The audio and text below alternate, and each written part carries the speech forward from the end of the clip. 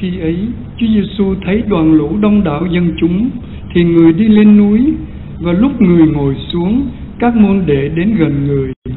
Bấy giờ, người mở miệng dạy họ rằng, phúc cho những ai có tinh thần nghèo khó, vì nước trời là của họ. Phúc cho những ai hiền lành, vì họ sẽ được đất nước làm cơ nghiệp cho mình. Phúc cho những ai đau buồn, vì họ sẽ được ủi an. Phúc cho những ai đói khát những điều công chính, vì họ sẽ được no thỏa. Phúc cho những ai hay thương xót người khác, vì họ sẽ được xót thương. Phúc cho những ai có tấm lòng trong sạch, vì họ sẽ được nhìn xem Thiên Chúa. Phúc cho những ai ăn ở thuận hòa, vì họ sẽ được gọi là con Thiên Chúa. Phúc cho những ai bị bắt hại vì lẽ công chính, vì nước trời là của họ. Phúc cho các con khi người ta ghen ghét bắt hại các con và bởi vì ghét thầy mà họ vu khống cho các con mọi điều gian ác. Các con hãy vui mừng hân hoan vì phần thưởng của các con sẽ trọng đại ở trên trời. Đó là lời Chúa, lời Chúa, Chúa.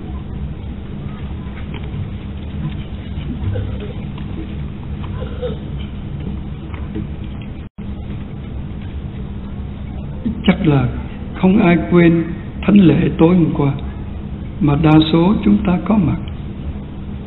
Tôi gợi ý đó để bắt đầu bài chia sẻ hôm nay.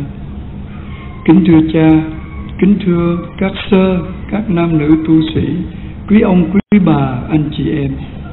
Hôm qua, trong lời dẫn đầu lễ, chúng ta thấy cái nét đẹp của tiếng nói của người nữ.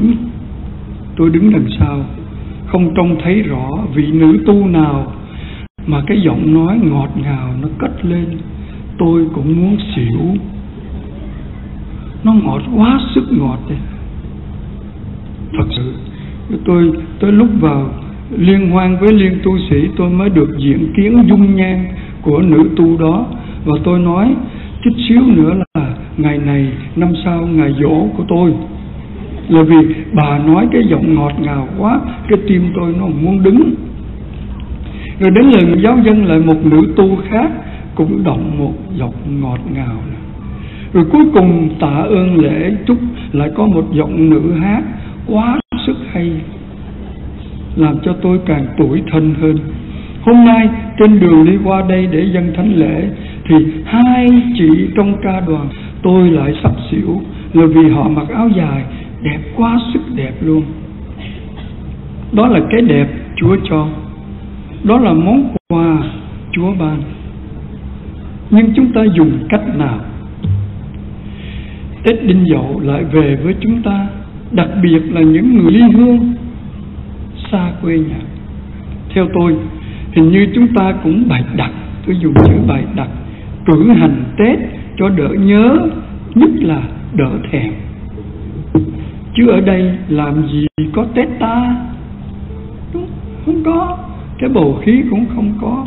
Ngay cả tuần sau chạy ra cái hội chợ Tết ở trên Wanneroo Showground cũng không thấy nữa.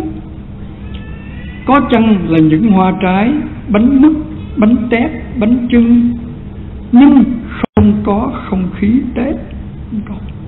Nói rõ hơn không có cả không gian lẫn thời gian may mắn là năm nay nó trùng vào cái ngày thứ bảy và chủ nhật nghỉ.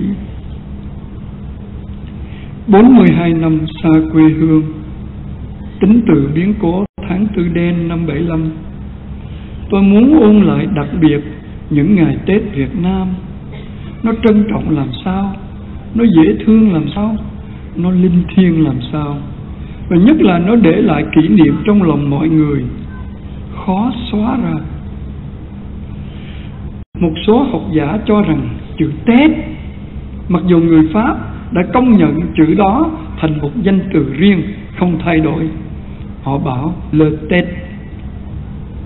Nhưng chúng ta cứ thắc mắc thì thôi, chúng ta đi tìm một chút cội nguồn. Người ta cho rằng chữ Tết là biến âm của chữ Tiết. Nhiều học giả trong số đó có nhà văn quá cố Bình Nguyên Lộc. Trong tập sang văn học tháng Giêng tháng 2 năm 87 ông viết, trong ngôn ngữ Triều Tiên, có định nghĩa chữ Thol T-O-L là ngày đầu của một năm, họ đọc là Thol. Biết đâu tổ tiên ta xưa kia cũng có một chữ riêng như thế, cho nên là chữ riêng mình đâu cần thắc mắc là tiết hay tết. Người triều tiên đọc là thôn thì mình đọc tết, có sao?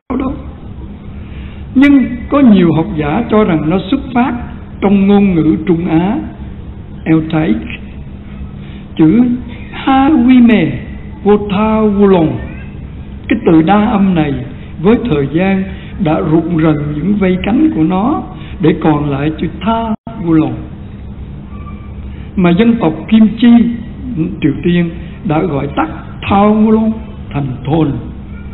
Còn người Nam Dương thì đọc là Du Long người Mã Lai đọc trại ra Sulon thì tại sao chúng ta không có quyền đọc Tết đâu cần phải nói chữ gì khác. Nhưng ai thắc mắc thì cũng có thể hiểu.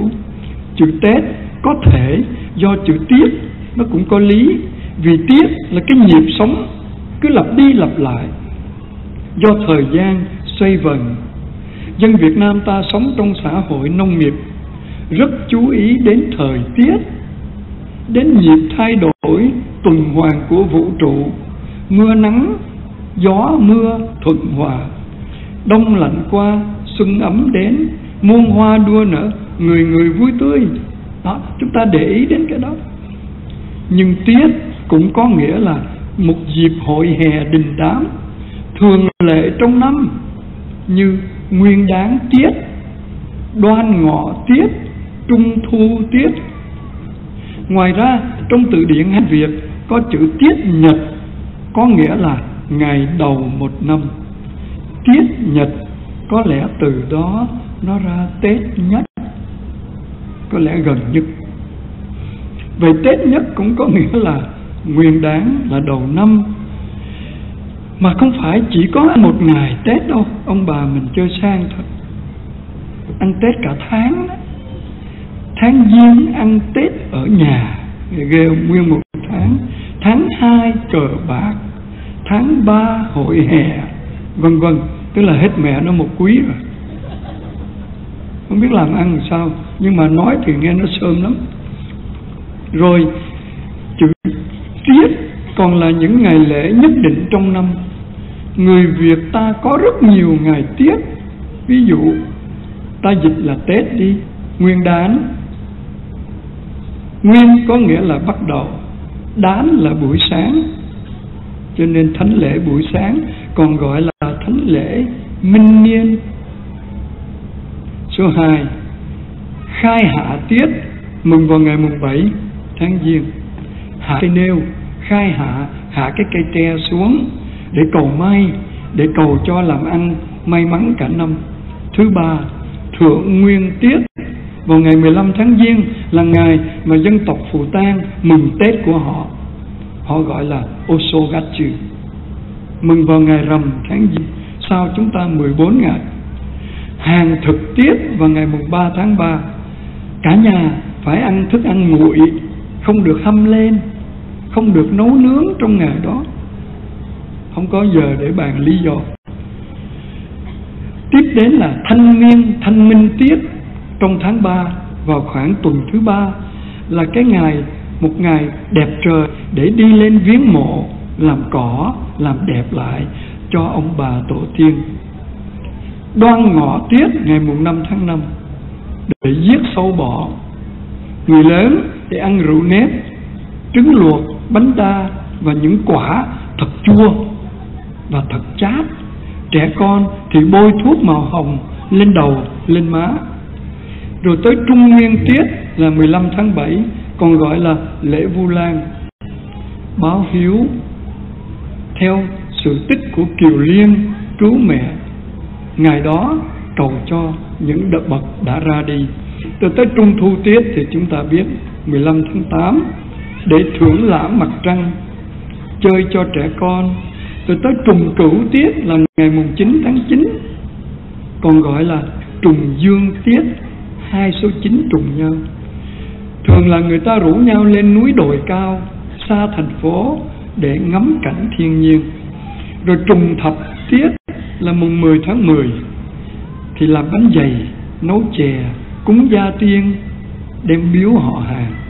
Rồi hạ nguyên tiết, ngày 1 hoặc ngày rằm tháng 10 để cúng vụ mùa cảm ơn đã có mùa màng được thu hoạch và cuối cùng là táo quân tiết là ngày 23 tháng chạp tuần rồi để đưa ông táo về trời. Mình ôn lại một chút cho nó vui chứ cũng không sao. Nhưng cái truyền thống của giáo hội Việt Nam lại hòa hợp với truyền thống của dân tộc. Ngày mùng 1 thờ kính Thiên Chúa, để được phúc của người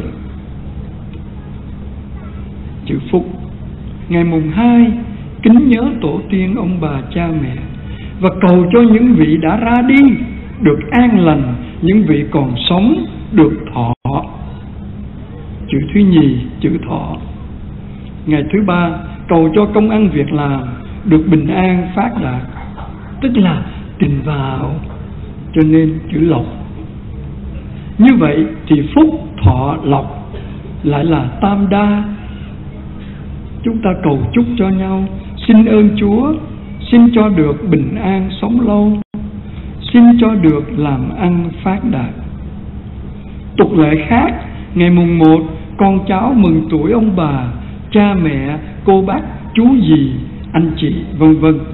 Nhưng ngày mùng 2 người con rể phải đi chúc Tết gia đình bên vợ. Ngày mùng 3 học trò chúc Tết thầy cô nó cũng hay hay. Cho nên mới gọi là mùng một chúc Tết mẹ cha, mùng hai Tết vợ, mùng ba Tết thầy. Cái Tết đối với dân tộc Việt Nam là một cái lúc xóa biên giới, không phân biệt người sống hay kẻ chết. Nên nhớ 30 rước ông bà về, để ông bà ở trong nhà chung với mình, ăn chung, nghe chung tiếng pháo cùng chung nhịp vui với trời đất, với con cái cho chắc. Rồi mỗi người nhận định lại vị trí của mình trong gia đình của mình. Dẹp bỏ những cái gì làm gia đình bất an, xáo trộn.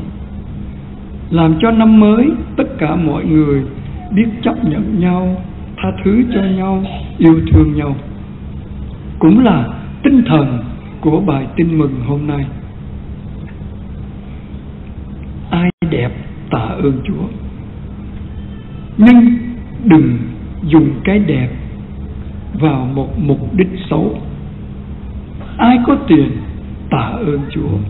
Nhưng đừng để tiền làm chủ lấy mình mình trở thành một thứ nô lệ. Ai có tâm hồn vui, hãy vui, nhưng đừng vui quá, nó sinh họa. Mà buồn quá thì sinh bệnh vân vân. Tất cả những gì Chúa tóm tắt trong bài giảng trên núi, tức là tám mối phúc thật, là những tiêu chuẩn mà chính Chúa đã nêu gương. Chúa mời chúng ta trong những ngày Tết, ăn thì cũng ăn, nhưng đừng ăn làm sao mà ngày này năm sau thành ngày dỗ ăn no quá rồi có người nói nó no quá, ở được, phải cứ đi vòng vòng trong sân thế thì đâu còn gì sung sướng nữa. Mặc thì cũng được, có đồ thì mặc. Nhưng có người thắc mắc đến mức độ buổi sáng mùng một tết, lựa được cái áo thì ông chồng ra râu rồi. Ông ngồi ngoài xe mà râu nó ra. Bà ra, bà nói, ngày mùng một tết đi lễ vậy mà ông không cạo râu. Tôi cạo rồi mà tôi đợi bà lựa áo nó ra dài đến vậy. Ai có tâm hồn vui hãy vui với nhau. Ai có tâm hồn lạc quan hãy làm cho người khác lạc quan. Như câu chuyện có anh chồng, ra ảnh rất là lạc quan, lúc nào cũng làm cho gia đình vui. Đứng đợi vợ nữa, đợi vợ cưới vợ ở trong đó. Làm cái gì không biết. Tới lúc vợ ra thì chim hải âu nó đã phẹt xuống trán ổng một bãi tại đứng ngoài trời lâu quá. Bà vợ thấy, ôi trời mùng một tết xui thế, để em lao cho anh. Bà lấy khăn nhúng nước với cái vòi, lao lao cho thấy ông cười. Anh bị xui vậy mà cười. Anh đang tạ ơn chúa. Hay quá. Anh làm gương cho em, nhưng mà tại sao anh tạ ơn chúa? Chúa khôn ngoan thật. Thì biết rồi, nhưng mà tại sao chúa khôn ngoan mà để con chim nó thả bom vào đầu anh? Không, chúa khôn ngoan. Là vì anh nói thật. Chúa mà cho con trâu, con bò nó bay được là anh gãy cổ anh rồi vui.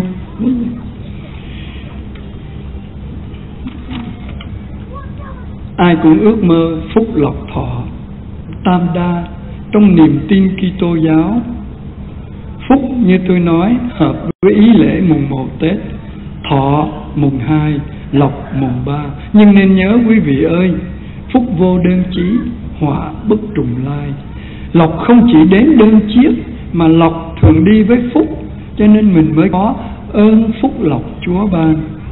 Hay lộc cũng đi với thọ, để có gọi là lộc thọ. Hay đi hết cả ba mới gọi là tam đa phúc lộc thọ. Nhưng cho dù là phúc hay lộc hay thọ, tất cả đều là hồng ân chúa ban. Chúng ta tạ ơn chúa trong ngày đầu năm.